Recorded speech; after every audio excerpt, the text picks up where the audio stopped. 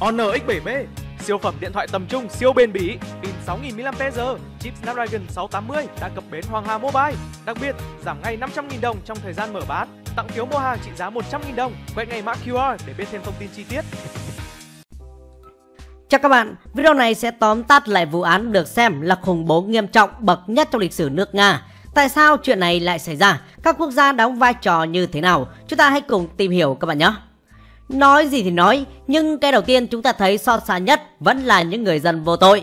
Dù ai chỉ đạo, ai thực hiện, ai liên quan, thì cuối cùng người dân vô tội vẫn là những người phải gánh hậu quả. Về diễn biến, chúng ta có thể gói gọn như thế này. Trong một khán phòng rất lớn với sức chứa lên đến 8.000 người ở nước Nga, có một buổi biểu diễn chuẩn bị được bắt đầu. Đó là một buổi biểu diễn nhạc rock.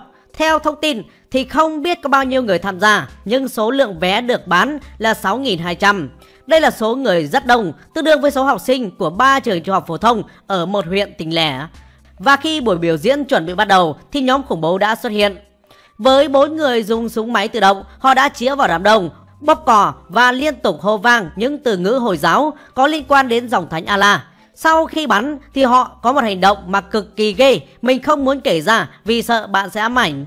Rồi sau khi bắn xong, họ lại tiếp tục dùng công cụ và đốt cháy khán phòng rộng lớn, làm cháy cả một khu phức hợp có tên là Crocus City Hall.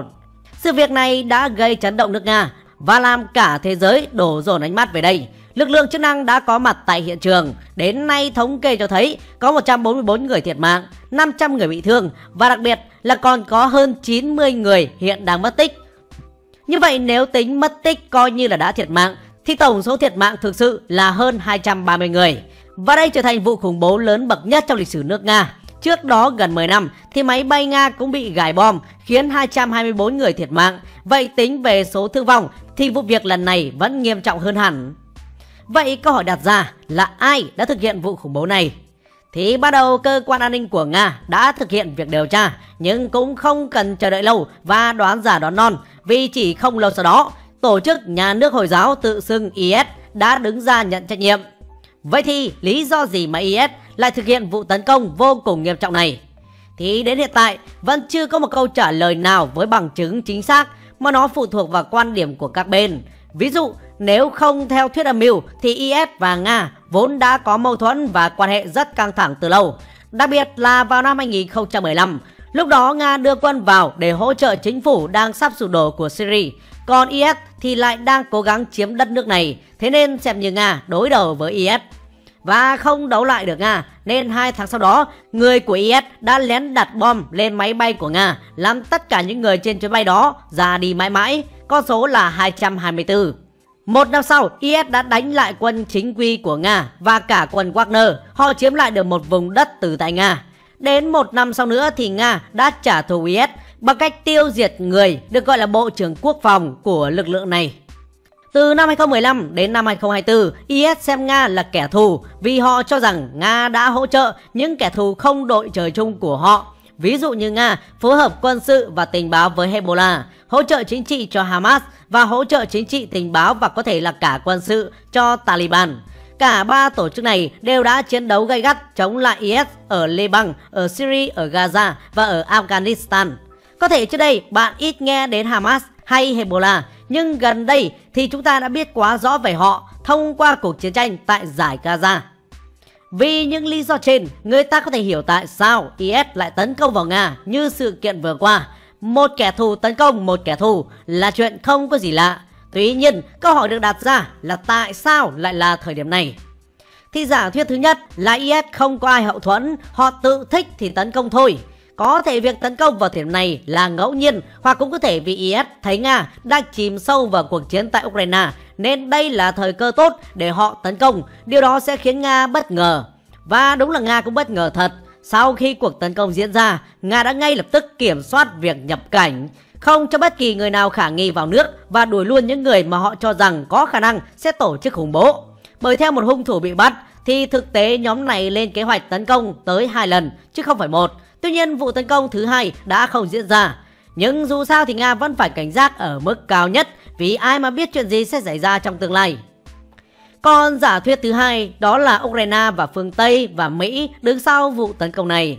Bởi theo báo chí Nga thì khi cơ quan an ninh Nga bắt được bốn hung thủ thì họ đã khai rằng kế hoạch tiếp theo là sẽ chạy sang Ukraine sau khi thực hiện vụ tấn công.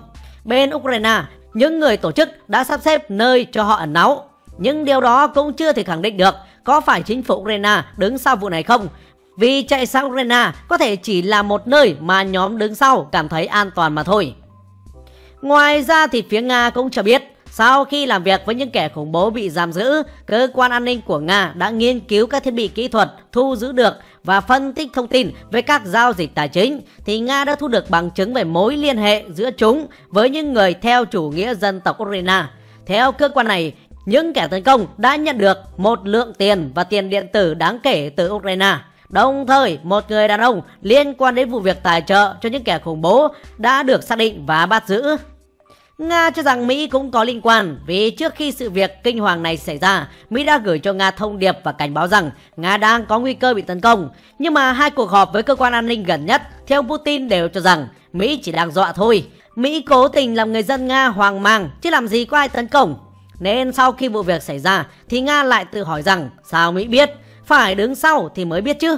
Thế nhưng cũng có nguồn tin nữa cho biết không chỉ Mỹ mà cả Iran trước đó cũng đã cảnh báo Nga Cụ thể là khi Iran bắt được một người IS thì người này đã khai rằng đang lên kế hoạch tấn công Nga. Nhưng trước truyền thông, người phát ngôn của Nga nói rằng người này chưa từng nghe tin cảnh báo nào từ Iran như vậy. Nói chung là hiện tại chúng ta không biết có ai đứng sau hay không. Vì Mỹ cũng như phương Tây và đặc biệt là Ukraine thì hoàn toàn phủ nhận không liên quan đến vụ việc này. Thậm chí còn có những thuyết âm mưu của phương Tây cho rằng chính Tổng thống Putin đã thực hiện vụ tấn công. Bởi vì việc chìm sâu vào cuộc chiến đã khiến cho người dân Nga cảm thấy chán ngán, kinh tế gặp khó khăn và Nga thì bị giảm uy tín.